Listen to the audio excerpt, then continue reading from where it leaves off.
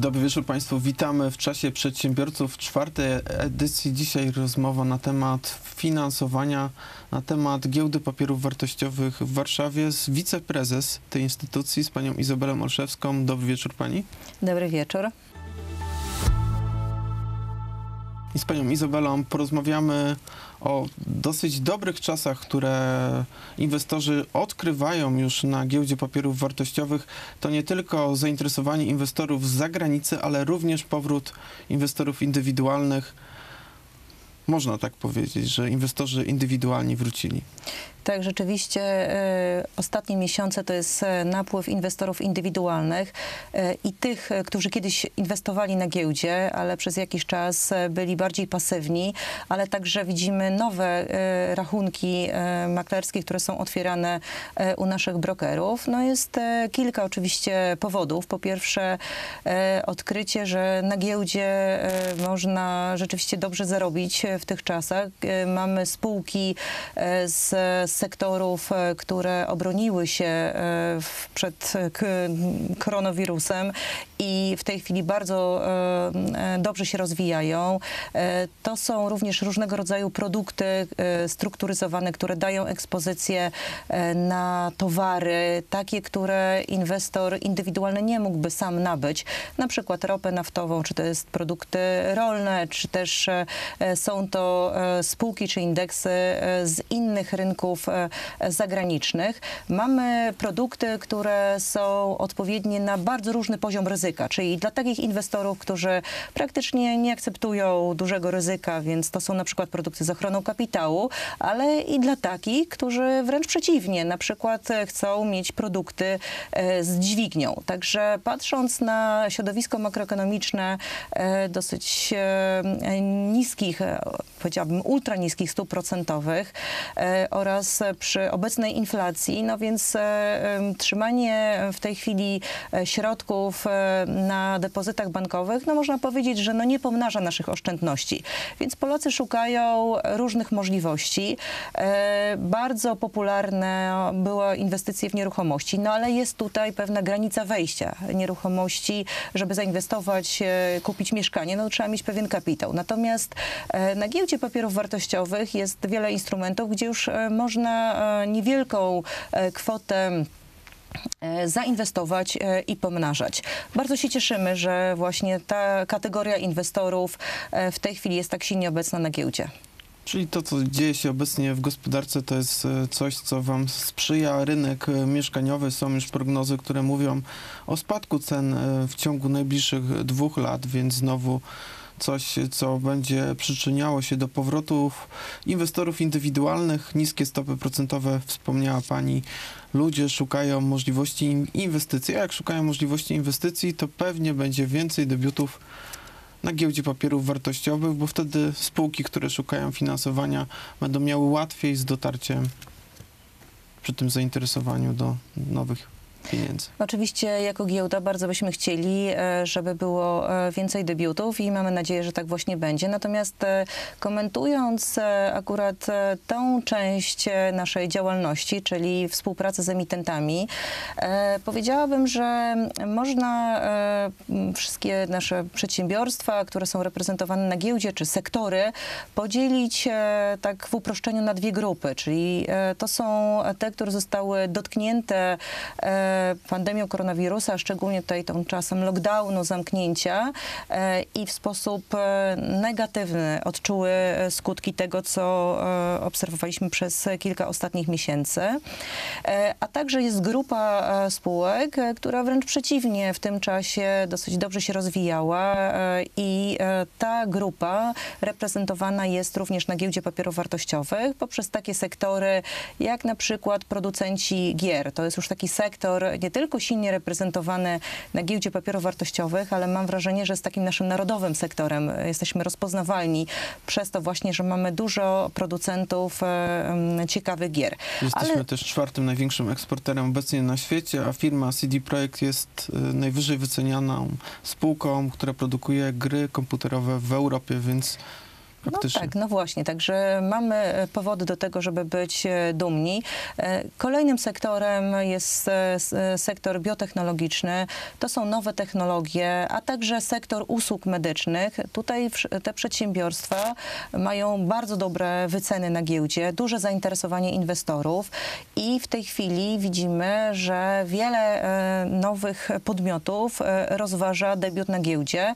Jest ich kilkadziesiąt, z tego największą grupę to jest właśnie producenci gier, ale są też e, e, reprezentanci innych e, sektorów. Więc tutaj, jeżeli chodzi o przyszłe debiuty, to uważamy, że no, będzie to dobry okres dla tych spółek, ale także dla giełdy i dla inwestorów. W tej drugiej grupie, czyli przedsiębiorstw, które w sposób negatywny dotknął, dotknęła pandemia koronawirusa i, i, i lockdown. E, Tutaj e, spółki będą potrzebowały e, kapitału na to, aby no, wyjść na prosto i na dalszy rozwój. I też jest bardzo ciekawa możliwość zdobycia tego kapitału poprzez wtórną emisję papierów wartościowych na giełdzie.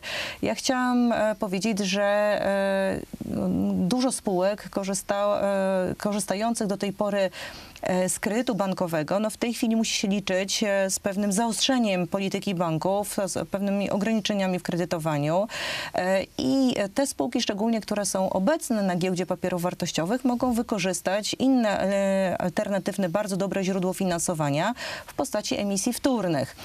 I e, w maju mieliśmy e, pięć takich emisji, e, to były na kwotę 450 milionów złotych, ale patrząc od początku roku, to już jest powyżej 30 takich emisji i spółki pozyskały miliard 400 milionów złotych. Oczywiście jedna emisja była nierówna drugiej, były większe i mniejsze, ale to pokazuje pewien obraz, że rzeczywiście jest to bardzo ciekawa propozycja do rozważenia przez spółki.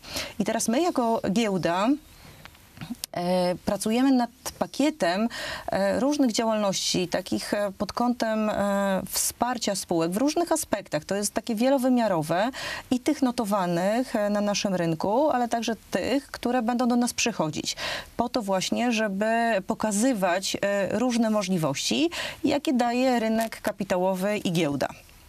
Czyli jest grupa spółek, która potencjalnie może zadebiutować wkrótce na giełdzie papierów wartościowych. Z tego co pamiętam, takich spółek w Polsce jest około tysiąca, a niektóre z nich na przykład chcą, myślą o tym ze względu na kwestię problemów z sukcesją. No nie zawsze e, firmy, które były prowadzone przez jedno pokolenie, kolejne pokolenie chce się tym zająć. E, Jak się czyta raporty, jest to spora grupa firm, które mogą potencjalnie również e, trafić na giełdy papierów wartościowych, bo powiedzmy sobie, to giełda też jest miejscem, gdzie można pozyskać kapitał dużo bardziej ry, można ryzykowny, w tym sensie, że na ryzyko gospodarcze, niż to jest możliwe w systemie bankowym. No, dotknął tutaj e, pan tematyki spółek rodzinnych. E, Te spółki są nam bardzo bliskie. Od dłuższego czasu już e, współpracujemy z organizacjami spółek rodzinnych, ale także z wieloma spółkami i pokazujemy, w jaki sposób giełda mogłaby pomóc w sukcesji.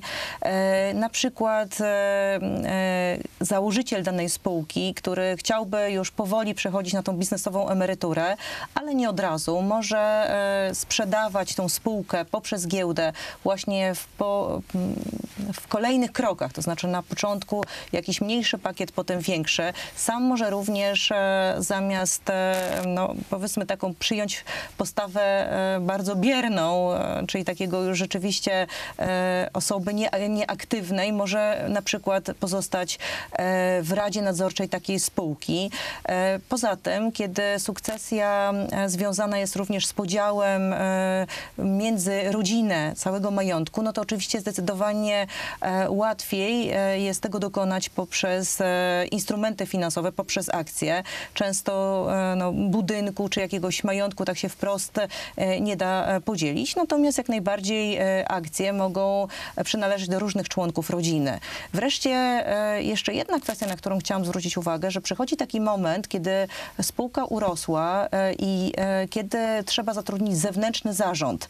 To znaczy już do zarządzania całą spółką nie wystarczy e, jej założyciel, czy też kilka osób z rodziny i przy takim zewnętrznym zarządzie wtedy e, bardzo istotne jest, aby móc wprowadzić różne programy, e, na przykład program tak zwanych opcji na akcje, czyli programy zachęt menedżerskich, programy motywacyjne. Czyli jeżeli spółka będzie rosła, to taki menadżer będzie jakby rósł wraz z nią, tak? Czyli e, na początku mogę e, dać niższe wynagrodzenie, ale również właśnie taki program opcji menedżerskich. Takie opcje, takie instrumenty muszą mieć codzienną wycenę. One muszą po prostu e, być te akcje na giełdzie po to, żeby cały czas ten program działał i żeby opcje były wyceniane. Tak, to tak w skrócie mówiąc, jeśli menadżer przychodzi do firmy, w której akcja kosztuje 100 zł, to później jak kończy pracę i kosztuje 200 zł albo po jakimś okresie, to te 100 zł, tak już prosto mówiąc, to jest jego zarobek, gdy Tak. kurs akcji po prostu wzrośnie. Jest to bardzo faktycznie sprawiedliwy system, ale trzeba mieć też e, zaufanie. Tego zaufania troszkę u nas e, w narodzie brakuje. Są liczne badania, które pokazują, jest lepiej faktycznie, jeśli chodzi o zaufanie pomiędzy obywatelami, zaufanie do instytucji i takie żeby pojawić się na giełdzie, to trzeba mieć też zaufanie do, do tego, że to jest dobre rozwiązanie, które pozwoli tej firmie jeszcze wzrastać, bo to jest kwestia również e, często umiędzynarodowienia danej firmy. Polskie firmy często działają w takiej skali, że mogłyby urosnąć, ale coś ich blokuje. No ja myślę, że tutaj, jeżeli chodzi o zaufanie, e, to to jest naprawdę temat e, kluczowy na rynku kapitałowym i po stronie emitentów, i po stronie inwestorów. E, Budowa zaufania to jest główny element także występujący w strategii rozwoju rynku kapitałowego.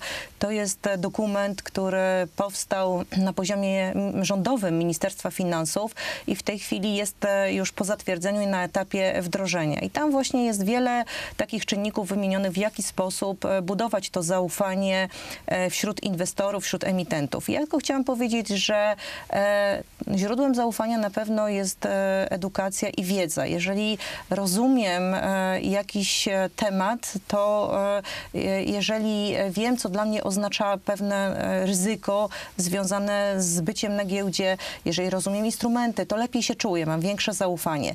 Ale to nie tylko. Źródła zaufania są różne. Na przykład hat. W ostatnim czasie, kiedy mieliśmy no właśnie ten lockdown, o którym tutaj już kilkakrotnie e, wspominałam i kiedy mieliśmy taki etap e, bardzo e, silnego handlu czy obrotu na giełdzie, to na przykład elementem zaufania może być sprawdzenie się całego naszego organizacji prowadzenia obrotu przez giełdę. To, że nasze systemy, nasza technologia fantastycznie się sprawdziły, że działamy e, od początku e, tej trudnej sytuacji do dzisiaj w sposób zupełnie niezakłócony, w sposób przewidywalny dla inwestorów. E, To, że mm, udało nam się opracować takie procedury bezpiecznego działania, że giełda bez względu na warunki działa dobrze. To też jest element zaufania, czyli jako inwestor wiem, że jeżeli kupiłem jakieś instrumenty finansowe, to będę miał możliwość zrealizowania swojej strategii inwestycyjnej bez zakłóceń. To jest, e, to jest e, też bardzo ważne z punktu widzenia e, inwestorów. Także tych elementów poza edukacją, informacją, technologią, to co wpływa na, na zaufanie, jest bardzo wiele. Oczywiście, tak jak wspomniałam, w strategii rozwoju rynku kapitałowego jest wiele różnych zaproponowanych e, działań, e, które będą wspierały bezpieczne funkcjonowanie rynku kapitałowego. Na przykład powstanie sądu rynku kapitałowego niezależnego, czyli można powiedzieć, że e, te podmioty czy te osoby, które chcia, chcą działać nieuczciwie na rynku, no, trzeba dla nich nie jest e, tylko e, e, ważna kara, e, która jest zapisana w regulacjach, ale nieuchronność tej kary. To jest ważne, żeby po prostu takie osoby były eliminowane. Wtedy pozostali e, uczestnicy rynku no, będą się czuli bezpiecznie. I po to właśnie jest ta inicjatywa powstania niezależnego sądu e, rynku kapitałowego, e, gdzie będą pracowały osoby bardzo dobrze rozumiejące ten rynek, tak aby w razie trudnych sytuacji, właśnie takich nieuczciwych, aby e, bardzo szybko e, takie podmioty czy takie osoby eliminować z rynku. Tak więc tutaj e, to jest taki temat e, bardzo wieloaspektowy i wielowątkowy, ale zaufanie to jest fundament e, rynku kapitałowego i działania na giełdzie. aby sprawnie działających sądów ciężko zaufanie w społeczeństwie, więc szybko działających sądów, bo to chodzi w tym też. Chodzi o szybkość. E, W tej chwili e, wiele procesów e, ciągnie się latami, no dlatego, że nie ma do końca zrozumienia, jak w jaki rynku kapitałowego przez prokuratorów. No chodzi o to, żeby ta droga była jak najkrótsza. I w tym momencie rzeczywiście ta nieuchronność kary, mam nadzieję, że spowoduje no, znaczne też zwiększenie, odstraszanie po prostu nieuczciwych osób z rynku i bezpieczeństwo e, na rynku kapitałowym. I pewnie tak będzie, gdy ten sąd powstanie, a niedługo powstanie również e, private market, czyli rynek prywatny, czyli na giełdzie będzie można inwestować w spółki dużo mniejsze niż obecnie, z dużo większym potencjałem wzrostu, ale też możliwości straty, ale w realne spółki związane głównie z technologią, internetem. Takie są plany. E, Plany co do private market e, są, nie tylko plany, bo już e, mamy wiele zaawansowanych działań. Ja może to wytłumaczyłabym w taki sposób, że w tej chwili to, co oferuje giełda, czyli rynek nasz główny i rynek New Connect są to rynki publiczne. To są rynki, gdzie obecność na nich wiąże się z, nie tylko z określonymi przywilejami czy prestiżem, ale także z różnymi obowiązkami, e, które związane są właśnie przede wszystkim e, z raportowaniem, z transparentnością. Nie każda spółka, szczególnie spółki małe, od razu jest gotowa na rynek publiczny. Do tego trzeba e, no, dorosnąć, przygotować się, dokonać pewnych zmian w funkcjonowaniu w organizacji firmy. I my jako giełda chcemy dobudować przed tym naszym rynkiem publicznym także element rynku kapitałowego, rynek prywatny. Na tym rynku spółki będą mogły również pozyskiwać kapitał, ale w innych formach charakterystycznych dla rynku prywatnego. Taką formułą e, jest e, crowdfunding, e, na przykład właśnie kiedy spółka może pozyskiwać e, kapitał, bądź też na określone e, tematy. Myślimy o tym, żeby na przykład spółka mogła pozyskać e, kapitał na określoną grę, czy też na dalszy swój rozwój. W takiej formule właśnie, że nie, nie jest to rynek publiczny, rynek prywatny. Ale ch- chodzi form- o udziały w zyskach, tak? Na przykład Na ktoś przykład- składa, tak można powiedzieć, na grę i dostaje jakieś udziały w, przy- w przyszłych zyskach. To jest taki system, którego nie ma w Polsce, a jest Na przykład dosyć jest, powszechny e, w Stanach Zjednoczonych. To jest nie tylko w Stanach Zjednoczonych, e, powszechny jest również w wielu krajach Europy i to jest jeden z przykładów. Oczywiście bardziej jeszcze e, zaawansowaną formułą jest tak zwany crowdfunding udziałowy, kiedy dostaje się udziały bądź e, akcje, czyli instrumenty finansowe danej spółki. Tutaj w Czyli tym... chcecie po prostu wypełnić lukę, która jest na polskim rynku w związku z tym, że fundusze ryzyka, które prowadzą w różnych krajach e, spółki do giełdy, że te fundusze ryzyka w Polsce są dosyć słabe, nikłe i, i nie było jak, e, że tak powiem, zapewniać tutaj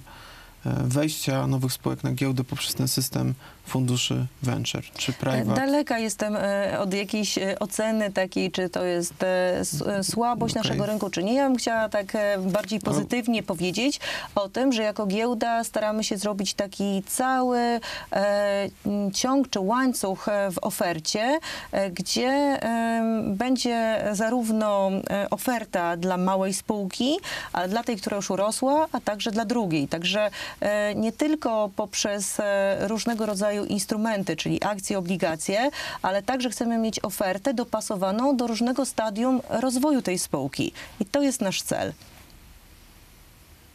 Trzymamy kciuki, to jest bardzo dobre przedsięwzięcie.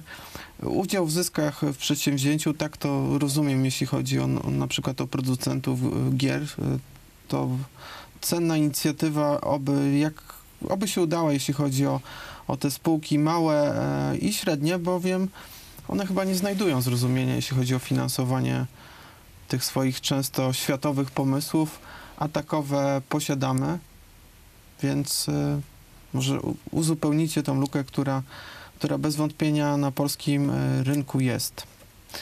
No myślę, że tak właśnie będzie.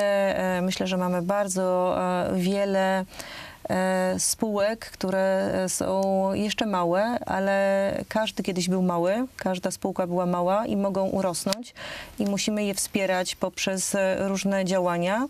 E, Więc to są działania o charakterze takim mo- możliwość pozyskania kapitału na rozwój. Oczywiście wspieramy też edukacyjnie. Tutaj jest, e, chciałam od razu e, też e, może nie zareklamować, ale przedstawić nasz e, program e, GPW Growth, który jest programem czy naszym projektem skierowanym do małych i średnich przedsiębiorstw o charakterze edukacyjnym i takim networkingowym, gdzie jest bardzo praktyczny, gdzie spotykamy małe spółki e, z przedstawicielami większych spółek notowanych na rynku i przekazywana jest im Pani wiedza prezes, ile to wzięta. kosztuje? Bo to jak już mówimy do przedsiębiorców, to z pewnością mm, czy to jest e, droga usługa, żeby skorzystać e, z takiej możliwości i dowiedzieć się, spotkać się z innymi przedsiębiorcami?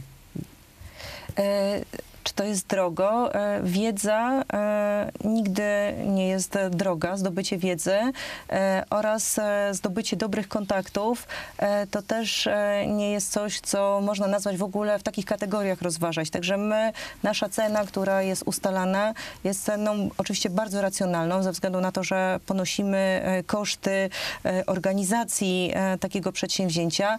Natomiast mogę Państwa absolutnie zapewnić i Pana tutaj redaktora, że z punktu widzenia giełdy jest to nasza inicjatywa, gdzie to nie ma być nasz biznes, a ma być naprawdę wsparcie dla naszych spółek i to jest taka inwestycja na przyszłość, gdzie pokazujemy spółkom e, naszą giełdę również jako jedną z możliwości, oczywiście do których trzeba dojrzeć, dorosnąć, e, zrobić różne zmiany e, w spółce. Kiedy kolejna edycja, jeśli chodzi o tych, którzy są zainteresowani i z chęcią by się spotkali z innymi przedsiębiorcami i Skończyliśmy pierwszą edycję, już w tej chwili była e, w czerwcu, e, jest rozdanie dyplomów i od razu startujemy drugą edycję, która się e, zacznie w październiku. Natomiast już w tej chwili będziemy prowadzili e, informacyjną, działalność informacyjną. E, To jest e, program nakierowany na aspekty praktyczne. E, Rekomenduję go z tego punktu widzenia, że nie jest to wiedza, którą można zdobyć e, czy w książce, e, czy w internecie. Jest to wiedza z życia wzięta. Ktoś, kto przeszedł pewien etap, kto mówi o tym, że miał takie i takie dylematy, wybrał taką drogę, dlaczego, to jest to, co moim zdaniem jest no, bezwartościowe. Czyli taki mentoring, e, najszybsza nauka w najkrótszym czasie, za rozsądne pieniądze. Pani Tak. prezes obiecuje, od października można brać udział e, w drugiej edycji, a dla inwestorów indywidualnych, bo rozpoczęliśmy od inwestorów indywidualnych, może jeszcze informacje na temat e, waszego portalu, bo teraz dostarczacie analizy spółek, które są notowane na giełdzie papierów wartościowych, czyli też spełniacie, tak by powiedzieć, funkcję kontrolną. E, Tak, to e, oczywiście dla inwestorów indywidualnych e, mamy wiele projektów edukacyjnych, ale to, co w ostatnim czasie udało nam się zorganizować, to jest specjalny portal Giełda to proste. Pod takim można go znaleźć hasłem w wyszukiwarkach i tam znajduje się wiele różnych ciekawych też informacji. One są przeznaczone na różny poziom wiedzy inwestora, także od tych początkujących do tych bardziej zaawansowanych. E, To, są, to jest wiedza o tych instrumentach, e, które e, oferujemy, o naszych rynkach, także bardzo serdecznie zachęcam do zajrzenia e, do tego portalu. Zatem pani prezes, trzymamy kciuki, aby polska giełda rozwijała się tak jak w ostatnim okresie, żeby pojawiały się nowe debiuty, żeby te młode spółki technologiczne, choćby przez inicjatywę Private Market, zagościły i były też możliwością dla inwestorów, którzy mają środki ku temu, żeby zaryzykować, zainwestować i być może osiągnąć duże zyski. Dziękuję Pani bardzo za rozmowę. Dziękuję bardzo. A Państwu dziękuję za uwagę i zapraszam za chwilę na sumę dnia.